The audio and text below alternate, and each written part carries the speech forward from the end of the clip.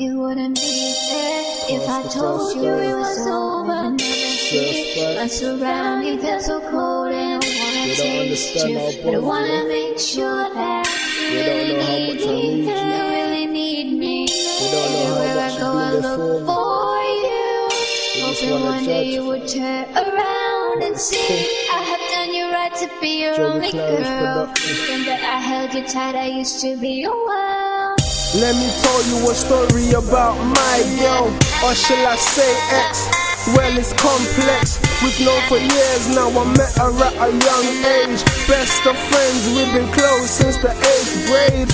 From that tender age, we became soulmates. One of a kind, not once did we part ways. When she came in, she made a new me. Became a stranger, even to my family. She made me wide open my eyes, she made me see different. She made me question the reason that I was in existence. She took me on a world tour which lasted for years. And I'm glad that we met, and there's no regrets. She was there when I cried, she was there when I bled. When Stephen D and Bobby Parr, she put her hand on my chest. She took away my stress and put my mind to rest. But now I have to go, and she's crying out stress.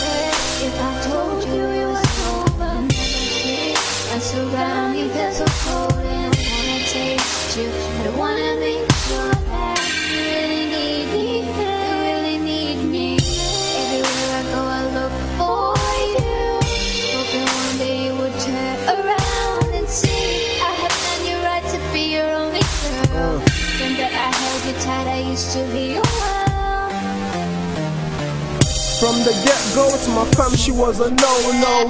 Forbade me from seeing her, but couldn't let go. They made me swear, and I did, but had my fingers crossed. No one could come in between, cause we were so in love. Far from a little crush, she had me sprung from the second I felt her touch. She knew how to get to me from a stressed state to feeling so relieved. If you haven't clocked, let me bring you up to speed. This ain't a wifey chat, I'm talking about the weed.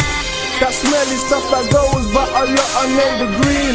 The kush, the old lot call her Mary Jane.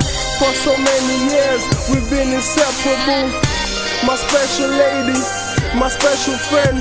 But it's time to let go, the journey's at an end. But she's holding on, singing to my ear, singing to my ear.